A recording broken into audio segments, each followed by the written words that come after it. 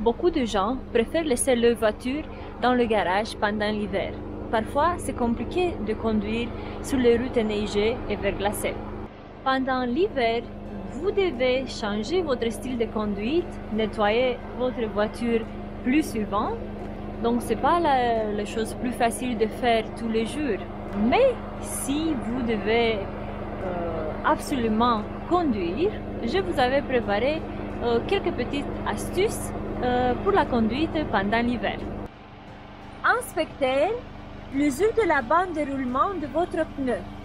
Assurez-vous qu'ils ont la bonne pression. Assurez-vous que le système de chauffage et refroidissement de votre voiture fonctionne correctement.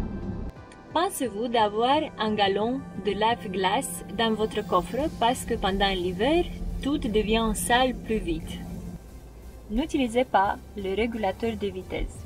Votre voiture sera moins susceptible d'accélérer rapidement sur une route verglacée s'il est conduite dans un rapport inférieur.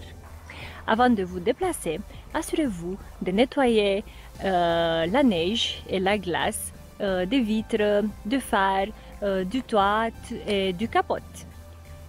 Faites attention à la glace noire. Elle se confond avec la couleur de la chaussée. Elle est particulièrement dangereuse car elle est difficile à repérer et bien sûr on peut glisser beaucoup sur elle.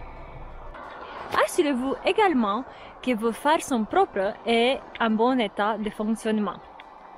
Vérifiez votre batterie avant les mois les plus froids. Ça sera pas sympa de, rester sur la route froide. Connaissez votre frein.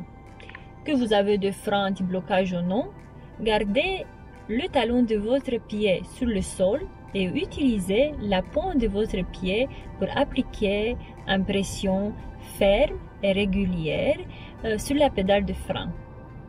Si votre roue arrière se bloque, qu'est-ce que vous devez faire? Retirez votre pied de l'accélérateur.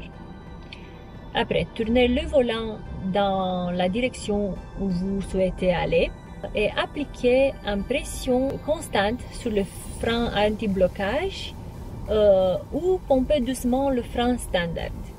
Si vos roues avant se bloquent, qu'est-ce qu'on fait? La première chose, on laisse le volant tourner librement. Après, bien sûr, on enlève le pied de la pédale d'accélération. Euh, passez au point mort et puis commencez euh, lentement à diriger votre voiture dans le sens où vous souhaitez aller. Sur le route verglacée, c'est important de ne pas faire de mouvements soudains. Donc, laissez votre véhicule ralentir avant d'essayer de, de reprendre le contrôle.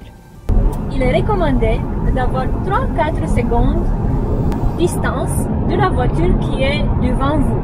Euh, pendant l'hiver, on augmente euh, cette distance 6-8 secondes.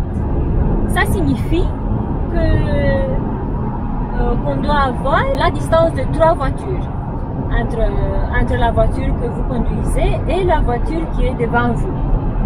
Il est également recommandé d'avoir toujours un kit de sécurité euh, dans votre coffre. Et pendant l'hiver, on doit ajouter quelques objets qu'on n'a pas besoin pendant l'été, par exemple. Vous pouvez trouver dans le magasin de spécialité euh, ces genres de kits qui sont déjà faits spécialement pour l'hiver.